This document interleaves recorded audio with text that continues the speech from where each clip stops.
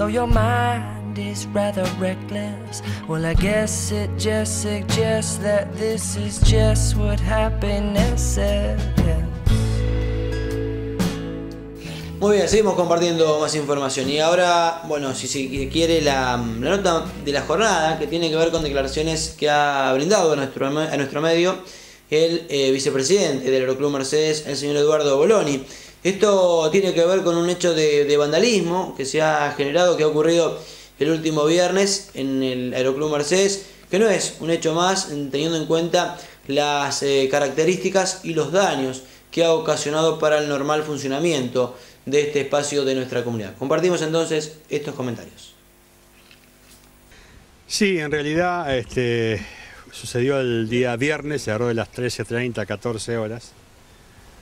Un grupo de, yo diría, vándalos eh, han roto eh, a patadas, hablando directamente. Eh, las, la pista ah, lleva en cada cabecera cinco balizas de cada lateral que son bicolor. Es un color indica cuando la aeronave viene hacia la pista y cuando la aeronave está enfrente cambia de color. Son verdes y rojas.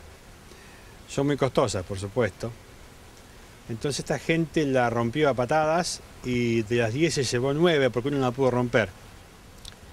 Se la llevaron y se fueron corriendo por el puente con las, con las lámparas esas, que no tienen ningún valor, No se puede usar, cuando lo ponen a 220 eso explota porque funciona con otra energía, otro, otro ciclo tiene, nada que ver con, la energía que pueden tener en un domicilio. Entonces nosotros como gente del Aeroclub, gente que hemos este, luchado mucho, dedicamos muchas horas al Aeroclub, quitando horas nuestro trabajo, a nuestra familia, a nuestros nietos y bueno eh, nos sentimos muy dolidos y nos sentimos impotentes ante la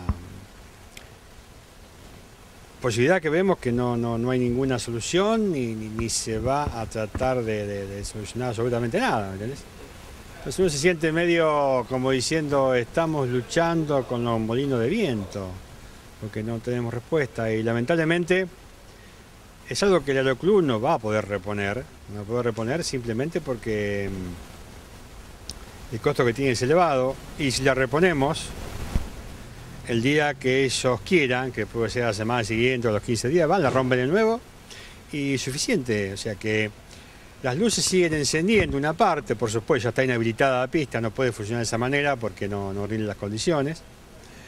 Pero bueno, el esfuerzo que hemos hecho y el esfuerzo que ha hecho esta gente de Frente Mercedino para instalar las luces, para un beneficio para la ciudad, está por el momento truncado porque no, no duró seis meses y, ya fue destruido. Lo lamentable es que es una situación que muchas veces puede hasta salvar vidas. Eh, hoy, la, hoy no se puede operar la pista en horas de, la noche.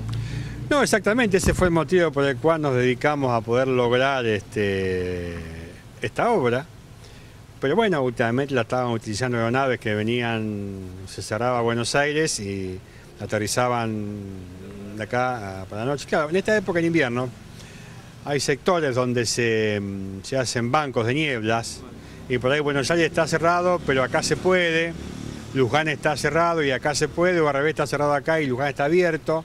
Entonces es importante tener una pista balizada, ni hablar de una emergencia sanitaria, ¿no es cierto?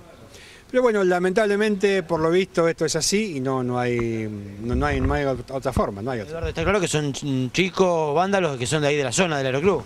Sí, sí, seguramente son los que andan siempre dando vuelta por ahí. Porque no es la primera vez que tampoco ha sufrido robo, hecho de este tipo el aeroclub. No, ha sido en varias oportunidades. El alambrado, por ejemplo, se lo llevaron dos veces.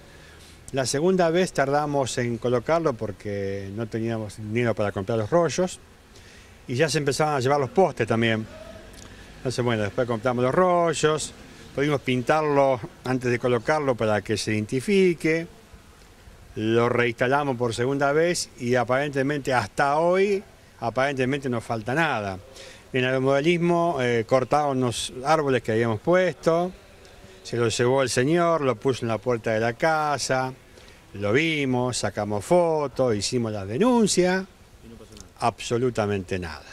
El automovilismo tiene una portada que limita el espacio donde estar quienes eh, operan y quienes están de espectadores. Alguien la precisó, también se la llevó. ¿No es? Bueno, ahora pusimos nosotros otra portada nueva. La municipalidad, eh, con que colabora muchísimo con nosotros, nos ha facilitado tres columnas. Entonces tenemos iluminado esa zona, ese predio, para ver si de esta forma minimizamos la, la posibilidad esa de robo. Realmente no sabemos qué hacer, sabemos que la situación tiende a eso y, no veo mejora, o sea que esto va a seguir igual. Así que yo diría que nosotros no podemos reponer las luces económicamente y tampoco podemos mantener una vigilancia las 24 horas porque los costos es imposible para la distribución, ¿no es cierto? Uno se lo escucha y hasta deja entrever la- de, de dejar todo. A veces, a dan ganas, dan ganas porque eh, uno no, no, no sabe qué hacer, pero también si nosotros este, nos vamos, como lo hemos pensado, este, ganan los malos. Y en la vida no pueden ganar los malos. Entonces, este, yo creo que de alguna forma se irá a buscar algo, no sé qué pasará. Sinceramente no sé. No, no veo el futuro, no, no lo veo, no, sinceramente no sé. La última, ¿hicieron la denuncia en este hecho? Sí, por supuesto, se hace como corresponde, la denuncia en la, en la policía rural. La policía, por supuesto, vino inmediatamente, sacó fotografías, se hizo la denuncia, se informó a Fuerza Aérea la inhabilitación de la, a la pista balizada. Así que hicimos lo que corresponde y eso es todo lo que podemos hacer.